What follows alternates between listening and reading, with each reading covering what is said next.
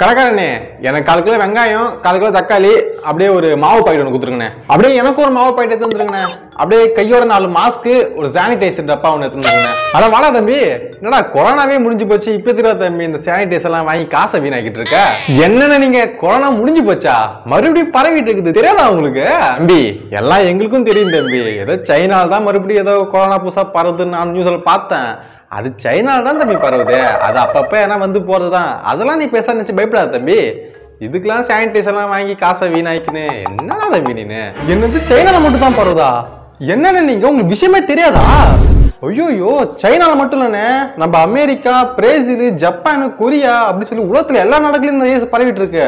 இவ்வளோ ஏன்? நம்ம இந்தியாவிலே இந்த வைரஸ் வந்துட்டுனா பார்த்துக்கோங்க. என்னடா தம்பி சொல்கிறேன் இந்தியாவில் பரவிடுச்சா? இந்தியால எங்கடா பரவுச்சு எனக்கு விஷயமே தெரியாதுடா.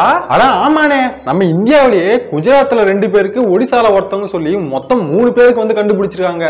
இதுக்கே நம்ம இந்தியாவில இப்ப அந்த கொரோனா இருக்கா இல்லையான்னு பரிசோதிக்கிறதுலாம் வந்து ரொம்பவே கம்மியாயிடுச்சு. இந்த ஒரு நிலைமையிலேயே வந்து மூணு பேர் கண்டுபிடிச்சிருக்காங்கன்னா இன்னும் பழைய மாதிரி வந்து கொரோனா டெஸ்ட் எல்லாம் எல்லாருக்கும் எடுத்தாங்கன்னா எத்தனை பேருக்கு இருக்குமோ யாருக்கு தெரியும்? ஏன் நம்ம கூட இருக்கவங்க கூட இருக்க வாய்ப்பு இருக்குது.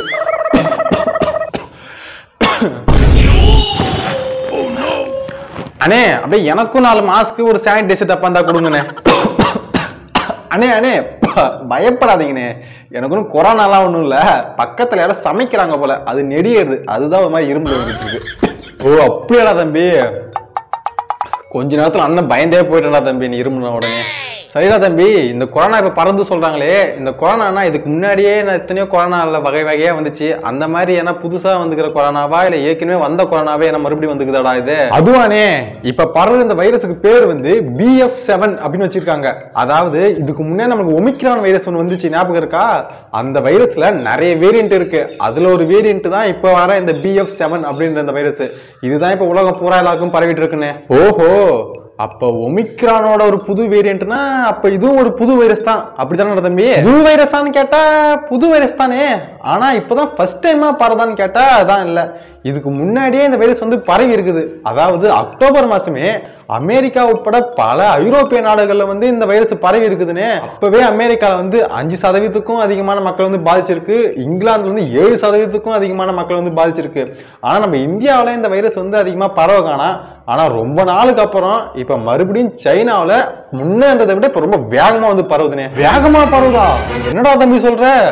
ஐயோயோ நல்ல வேலைடா தம்பி. நான்லாம் வந்து எப்பயோ ரெண்டு கொரோனா ஊசியுமே போட்டேன். அதனால எனக்கெல்லாம் எந்த பாதிப்பும் வரப்போறது கிடையாது. பாவம் ஊசி போடாதவங்க தான் பாவம் என்ன ஆக போதோ அண்ணே அண்ணே ஊசி போட்டேன்னு சொல்லிட்டு ஏன்னா இப்படிதான் அஜாக்கிரதையா தர போறீங்க. இந்த வைரஸ் வந்து ஒமிக்ரானை விட ரொம்ப கொடுமையாகுதுனே ஒமிக்ரானை விட இந்த வைரஸ் ரொம்ப வேகமாக பரவுறது மட்டும் இல்லை. ஊசி போட்டவங்களுக்கும் இந்த வைரஸ் வரதுக்கான வாய்ப்பு அதிகமா இருக்குன்னு சொல்லியிருக்காங்க. எதனா இப்படிதான் அஜாக்கிரதையா ஊசி போட்டு சொல்லி வெளியே சுத்தி வந்துட போறீங்க. பாத்துருங்க. ஐயோ அப்ப நான் ஊசி போட்டதே வேஸ்டடா தம்பி. சேச்சே ஊசி போட்டதெல்லாம் வேஸ்ட் இல்லனே. அதாவது இந்த வைரஸ் வந்து சைனால மட்டும் அடுத்த தொண்ணூறு நாளைக்கு அதாவது அடுத்து வர மூணு மாசத்துல சைனாவிலே அறுபது சதவீத மக்கள் வந்து பாதிக்கும்னு சொல்றாங்க. உலக அளவில் பார்க்கும்போது பத்து சதவீத மக்களை வந்து பாதிக்கும்னு சொல்றாங்க. இதனால டெத் ரேஷியோவும் வந்து அதிகமாகிறதுக்கு வாய்ப்பு இருக்கு. ஆனா நம்ம இந்த ஊசி எல்லாம் போட்டதுனால நம்ம உசுருக்கு அந்த அளவுக்கு பாதிப்பு வராதுண்ணே அப்பா நல்ல வேலை தம்பி. உசுருக்கு ஆபத்துல சொன்னியே. அது வரைக்கும் போதும். சர தம்பி உலகம் பூரா இந்த வைரஸ் பரவிட்டு இருக்கு. ஏன் இந்தியாவிலே மூணு பேருக்கு வந்துருச்சுன்னு சொல்ற? ஆனா நம்ம கவர்மெண்ட்ல இருந்து எந்த ஒரு ரியாக்ஷனுமே எடுத்த மாதிரியே தெரியலையேடா. எந்த ரியாக்ஷனுமே எடுக்கல அப்படின்லாம் மொட்டையா சொல்லக்கூடாதுனே. ஏன்னா இந்த சைனாவில் வந்து இந்த வைரஸ் அதிகமாக பரவுது அப்படின்னு நியூஸ் வந்த உடனே செவ்வாய்க்கிழமையே வந்து நம்ம இந்தியாவோட மத்திய சுகாதாரத்துறை செயலாளர் வந்து எல்லா ஸ்டேட்டுக்கும் ஒரு வந்து ஒரு லெட்டர் அனுப்பிச்சிருந்தாங்க. என்னன்னா எல்லா ஸ்டேட்லையுமே வந்து இந்த கொரோனா பரிசோதனையை வந்து இன்னும் கொஞ்சம் அதிகப்படுத்துங்க. இந்த புதுசாக வந்துருக்க இந்த வைரஸ் பற்றின ஆராய்ச்சி வந்து இன்னும் அதிகப்படுத்தணும் கட்டுப்பாடெலாம் இன்னும் கொஞ்சம் உயர்த்தணும் அப்படின்னு சொல்லி ஒரு லெட்டர் எல்லா ஸ்டேட்டுக்கும் அமைச்சிருந்தாங்க அப்புறம் நேற்று வந்து நம்ம மத்திய சுகாதாரத்துறை அமைச்சர் தலைமையில் வந்து ஒரு ஆலோசனை கூட்டம் நடத்தியிருக்காங்க. அப்புறம் இன்னைக்கு டெல்லியில வந்து பிரதமர் தலைமையில ஒரு அவசர ஆலோசனை கூட்டமும் வந்து நடத்த போறாங்கண்ணே. ஆலோசனையே நடத்திட்டு இல்லாம சீக்கிரமா ஆக்ஷன் எடுத்தா நல்லா இருக்கும்டா தம்பி. சரி எது எப்படியோ ஒடிசா குஜராத்னு சொல்லிட்டு எல்லாம் வட இந்தியாவில தான் தம்பி இந்த கொரோனா பரவிட்டு இருக்கு. அது வரைக்கும் பரவாயில்ல. தமிழ்நாட்டுல நம்ம சவுத் சைட்லாம் எந்த பிரச்சனையும் இல்லை. அண்ணே அண்ணே அப்படிலாம் நீங்களே தப்பு தப்பா நினைச்சு சந்தோஷப்பட்டுக்காதீங்க. நம்ம தமிழ்நாடு கேரளா கர்நாடகா மகாராஷ்டிரா தெலுங்கானா இந்த அஞ்சு ஸ்டேட்டை தான் வந்து ரொம்ப கவனமா இருக்க சொல்லியிருக்காங்க. ஏன் அப்படின்னா நம்ம இந்தியாவில் பதிவாகிற கொரோனா கேஸில் எண்பத்தி நாலு சதவீதம் வந்து இந்த அஞ்சு ஸ்டேட்டில் தான் வந்து பதிவாகுதானே? ஐயோ இது ஏன்னா தம்பி புது கதையாக இருக்கு? அப்போ நம்ம தமிழ்நாடு சார்பாக எதனா நடவடிக்கை எடுத்திருக்காங்களா இல்லையா? புது கதைலாம் ஒன்றும் இல்லைண்ணே. இதுதான் இப்போ உண்மை நிலவரமாக இருந்துட்டு இருக்கு அப்புறம் தமிழ்நாடு சைட்லேருந்து என்ன ஆக்ஷன் எடுத்திருக்காங்க அப்படின்னா விமான நிலையத்தெல்லாம் வந்து இன்னும் கொஞ்சம் அந்த கொரோனா டெஸ்ட் எடுக்கிற அந்த இதை வந்து இன்னும் அதிகப்படுத்த போதா சொல்கிறாங்க அதுலேயும் குறிப்பாக இந்த சைனா ஹாங்காங் இந்த மாதிரி பகுதியிலேருந்து நம்ம தமிழ்நாட்டுக்கு வரவங்களுக்குலாம் வந்து இன்னும் அதிகமாக முக்கியத்துவம் கொடுத்து அவங்களாம் வந்து கொரோனா டெஸ்ட் எடுக்க போதாக சொல்லியிருக்காங்க. அப்புறம் இன்னொரு முக்கியமான விஷயம் நம்ம இந்தியாவிலே வந்து இந்த பூஸ்டர் டோஸ்ன்னு சொல்லிட்டு ஒன்று போட்டாங்க இல்லையா? அது வந்து வெறும் இருபத்தெட்டு சதவீத மக்கள் தான் போட்டிருக்காங்களாம். இன்னும் நிறைய பேர் வந்து அதெல்லாம் போடலை அப்படின்னு சொல்லி கவர்மெண்ட் சார்பில் சொல்லியிருக்காங்க. அதை வந்து மக்கள் எல்லாரும் சீக்கிரமாக போட்டால் நல்லா இருக்கும்னு சொல்லியிருந்தாங்கண்ணே. ஓஹோ சரிடா தம்பி. அதெல்லாம் இருக்கட்டும். சரி முக்கியமான விஷயத்துக்கு வா. இந்த கொரோனா பரவுதுன்னு சொல்கிறாங்களே இந்த கொரோனா வந்துச்சுன்னா அதுக்குன்னு என்ன அறிகுறிகள்லாம் என்ன புதுசாக என்ன இருக்காடா தம்பி? அப்புறம் இன்னொரு முக்கியமான விஷயம் லாக்டவுன் போடுவாங்களாடா? அதை முதல்ல சொல்லு. அறிகுறினா ஒன்றும் பெருசா இல்லைண்ணே. இதுக்கு முன்னாடி கொரோனாக்கு வந்து என்னென்னலாம் அறிகுறி சொன்னாங்களோ அதே அறிகுறிகள் தான் இதுக்கும் சொல்லியிருக்காங்க.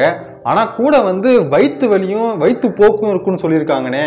அப்புறம் லாக்டவுன் போடுவாங்களான்னு கேட்டிங்கன்னா நம்ம இந்தியாவில் வந்து இப்போ ஒன்றும் அதிகமாகலாம் பரவலை. இப்போதான் எங்கேயோ ஒன்று ரெண்டு இருக்குன்னு சொல்லி கண்டுபிடிச்சிருக்காங்க.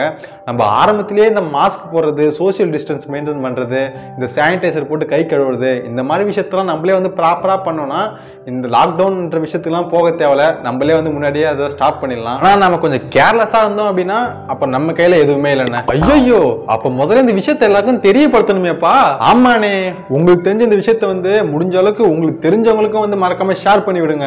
அவங்களையும் ஜாக்கிரதையா பார்த்து பத்திரமா இருக்க சொல்லுங்க.